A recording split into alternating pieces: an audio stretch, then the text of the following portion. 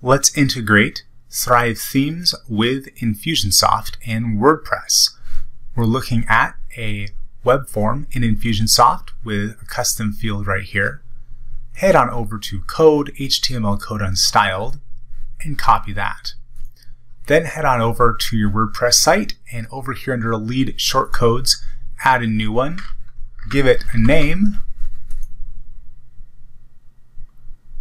and then it will show up right here as test 2 and we have edit over here in the corner.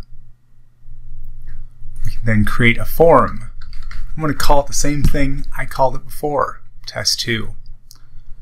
And then over on the design link off on the right there, and I'm going to choose a simple form for today's purposes. Once I have the form, click on it once, go to Connect Form to Service. Switch to HTML integration paste that form code.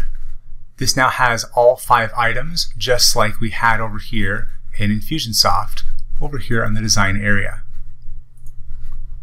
Next up, go ahead and save that, and then go to the page where you want to put the form, launch Thrive Architect. And then over here under Search Elements, just type in Thrive to grab that Thrive Leads shortcode.